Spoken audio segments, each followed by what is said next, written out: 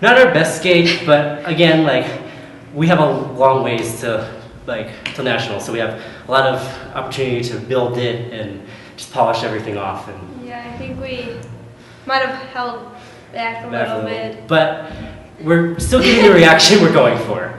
Like I feel like the crowd's really like, you know, enjoying it and like we're interacting with them and like I feel the energy building as we do the program. So I feel like once we keep continue polishing this, it's just going to be really good.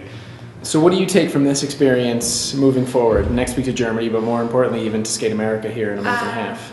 I think that after today, we know now that we need to attack these Yeah, I think we just a more. focus like focus a little bit more Yeah. on, you know, Kind of going back to like how we go into every element in, in practice and yeah, not shying off just because we're at a competition. yeah.